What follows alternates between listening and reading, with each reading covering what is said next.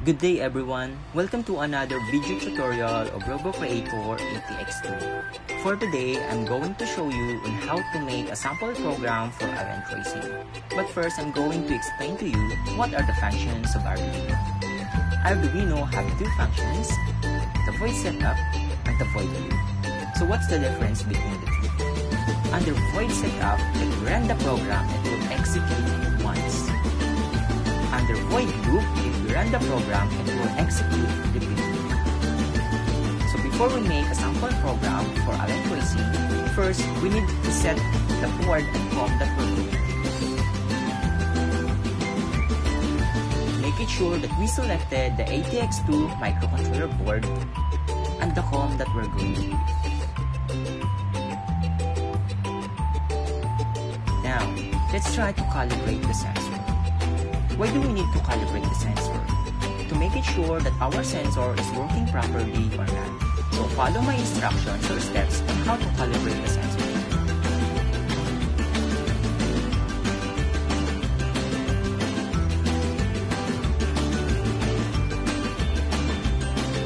Here are the example program for calibration.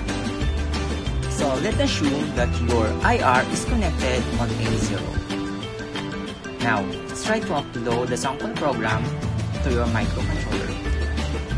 And wait for the Arduino to upload the program to your board. If done uploading, click the serial monitor and multiple line tracing value will appear.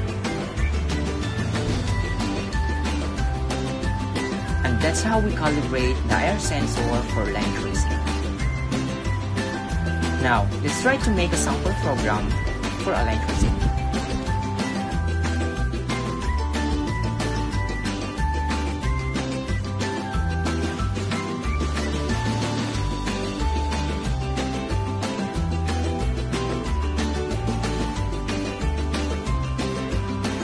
So these are the example program for the tracing. First, I assigned a variable to left IR to hold the value of A0. Second, for the right IR to hold the value of A2. In the third line, we have the FD7. This will make the robot move forward at the speed of 7. In the first condition, if your left IR detects the black line, your robot will spin to the left at the speed of 50 and delay of 300. For the second condition, if your right IR detects a black line, your robot will spin to the right at the speed of 50 and delay of 300. And again, these are the sample program for the line tracing. For more videos and tutorial, please like and subscribe to our YouTube channel.